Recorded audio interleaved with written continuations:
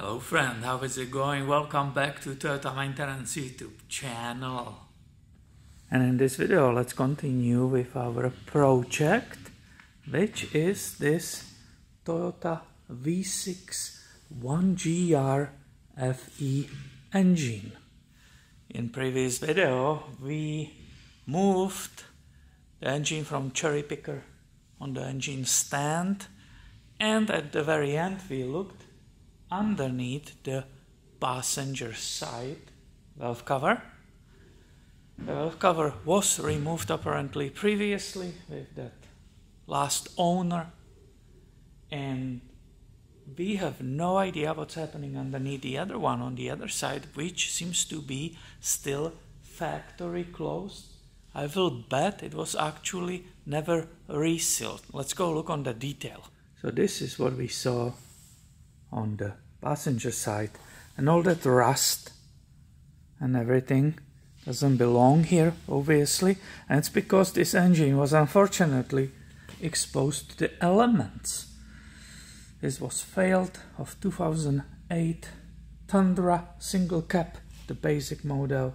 Normally they have V8 it failed apparently at 280,000 miles and it was removed kicked to the curb. It was sitting in the rain, and I'm afraid it seized.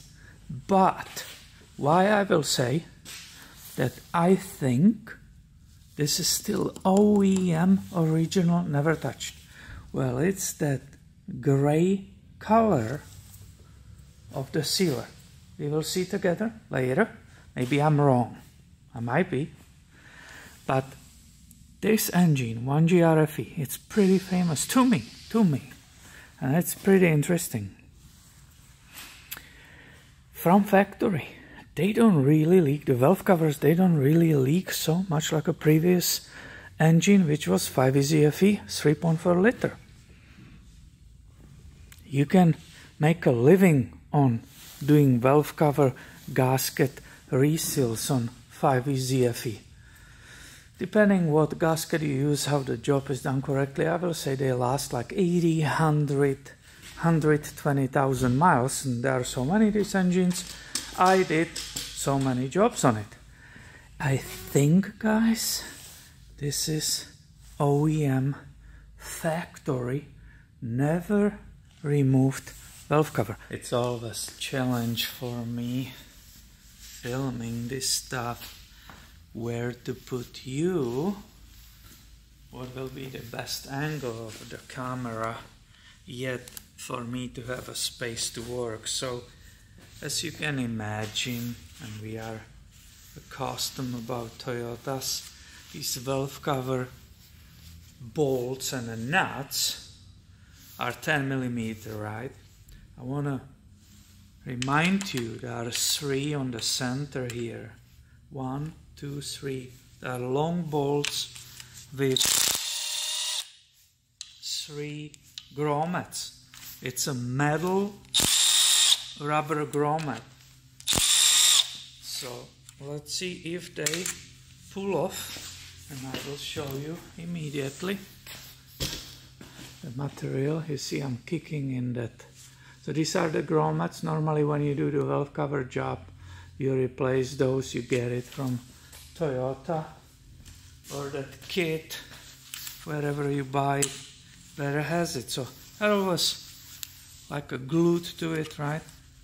It's nothing new for us. So I popped them off. They were stuck on it. So this was the center. We have three long 10 millimeter bolts. Now how many nuts? So here is one stud with a 10 millimeter nut. Here in the back here is the other one outside, right? So we have two of those and the remaining should be one, two, three, four, five, six, seven, ten millimeter bolts. And these bolts don't have any grommets.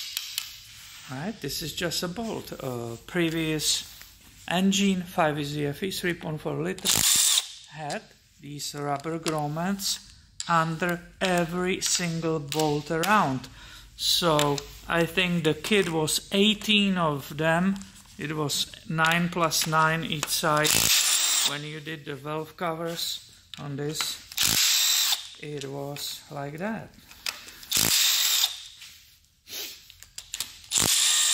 If I'm correct, my friend, I just successfully removed every single bolt and nut and we can pop it off.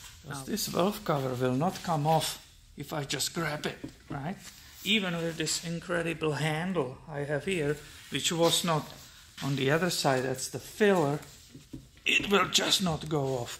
You have to pry it, but you have to pry it off extremely careful. And with careful, I mean you will not put your pry bar or big screwdriver here. These are the surfaces which actually will get damaged and you will create a leak. You have to find a spot where is not a direct access. Like for example here, do you see this spot? This is completely safe to put that prior, pry bar, screwdriver, whatever, underneath this tab because the gasket is running way away from it. Here you see the same one. There's another one here, but this one, for example, on the front, right? What's about very small pry bar, like this one, huh? So look, there is edge, and I'm able carefully, and look, it's lifting, right? Of course, I will be not touching the sensor here, but I'm touching this area. You see that black print? You have to just pay attention. So when I'm installing it this way, and you heard it, it's coming off. Where will be another safe spot? Let's look right here. We already discussed that, right? So I can rest the pry bar here. There's not much, but there is. Boom! Did you just hear that? How it popped? Very easy, and the last one can use this one, right? So if you see it, it's flexing, and now you are most likely curious. I am extremely curious. Will this side be less rusty because nobody touched it and it was perfectly sealed. That was the number one. Number two, I'm wondering if this will be way darker, the area of the valve cover, if it will be way darker from the burnt oil or they will be kind of matching on both sides. Why am I saying it? on 4.7 liter V8s, which are in Sequoias and Tundras, I see a kind of trend when I do the valve covers. The passenger side valve cover, it's always a little bit nicer, the color, than the valve cover on the driver side. I see always darker, the deposit inside of valve cover is darker and it's more, I will say, burnt on this side and on the other one. We got it nicely and carefully off, nothing will be damaged. Not that it matters, this engine, it's a total loss. And do you see how it's sticky? And look at that, my friend. This is the inside of the valve cover. I'm not sure how much you see it, but you probably see it nicely. This is again relatively very nice, but I will say there is a more burnt oil than on the other one. Let's see how they will compare. So the previous one, which we removed, passenger side, it's very clean for 280,000 miles. I will say that's beautiful. And let's see the new one that just came off today. I will say these areas, I hope you see it, are a little bit more burnt. If you look on these areas, yep, this is more golden instead of brown, and that's what I meant. So this is way more, this is burnt. Burnt oil, it's brown. So here we are looking at it from the top. And let me show you what I meant. I'm saying this passenger side is a little bit cleaner. This is a rust from being exposed. That's that's the Goldie, right? This is the golden nice clean. Look at the actuator. Hopefully it's showing nicely how clean it is. This is the area we opened. And I didn't show it to you yet. So look at that burnt oil, right? The brown color, that's basically burnt oil. Once again, this is rust from this valve cover being opened and not sealed correctly. That was held only with two or one bolts, so this is new to us. I will say beautiful. Look at the lobes. If you touch them, which you cannot, I can touch them. My God, guys, this is like brand new. Can you see it? It's a challenging lighting here in this shop, unfortunately, guys. These surfaces are basically brand new. It's unbelievable. 280,000 miles engine. I really wonder what happened to this one. Again, look at the timing chain, right? If it was stretched, I will be able slightly lift it up. It will there will be play between the rollers and the teeth. This ever not move one tiny little bit. The small one, tiny movement. We already checked this one.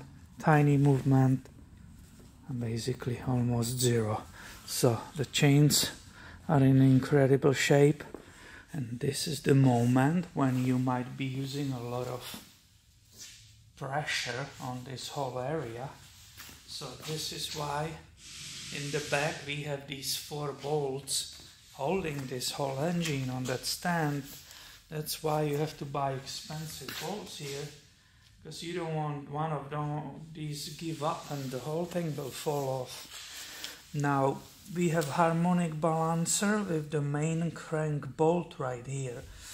This will be in the case of V6 Toyota, it will be 22 millimeter socket. If it was a Prius, that is a 19 millimeter. It's a, it's a smaller bolt. So we are playing the big boys are playing with uh, big big toys here. Let's see if the half drive standard ratchet can move this engine. Yeah guys this is no good. Not even a little bit. That that's not funny shortly after I bought it I brought it here and it was hanging on the cherry picker as you saw it. I was able to use this breaker bar, I believe this one, and it didn't want to go, but then it moved a little bit, and that's what I told you. The out of spark plugs, which I removed, it shot this horrible rust water it just sprayed all over. It really came out after a lot of pressure. This kind of rusty, rusty color, right? Since then I was trying to prepare it for you, so I sprayed a lot of lubricant in the intake, in the spark plugs. Was hoping that we will be able to turn it. Let's see if that's a true or it's it's a problem and it will never move. Oh, whoa, whoa, whoa! Did you see that? Excellent, excellent. You, you bring me luck, huh? Let's go get the ratchet. if we are lucky like this, because of you, maybe we will just make it running. Look at that.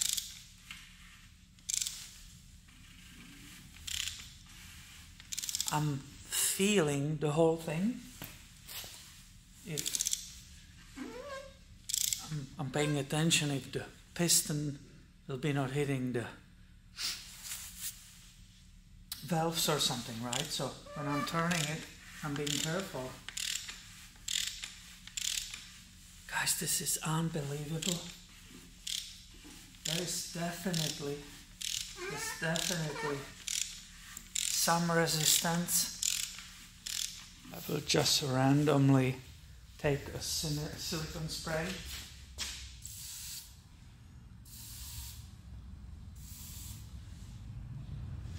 and including the intakes spray a bunch of it and let it flow inside and we will see if we can uh, move right in the spark plug tubes. I don't want to spray all of it in, but let's see how it will help. Guys, this is completely different than when it came. Look, as I said, there's no compression in it. It has a one spot when it hesitates. But this was not possible when I brought this engine in. I was afraid it's completely seized. So this is incredible. Little detail for all of you Toyota owners if you ever have to rotate your engine, it doesn't matter four cylinder V6, V8, it's always clockwise. Right? So this is the correct direction. And for those of you who never saw this moving, right? We can simulate the engine moving. Obviously, this speed is very slow normally we know the, the smallest idle it's like 800 rpm so obviously for those who are not familiar with this this keeps happening way way faster than I am capable to move it. But do you see it? Does it make a sense to you a little bit how it all works Without me cleaning anything, you can observe how these cam lobes are beautiful on the other side, right? That was the valve cover which was not removed before it was sealed and look how gorgeous those cams are. Isn't it incredible? That's an engine with 280,000 miles pretty spectacular. And this will be for today, for this video. I still have one Sienna waiting outside to be driven inside, so I need to make a space for her.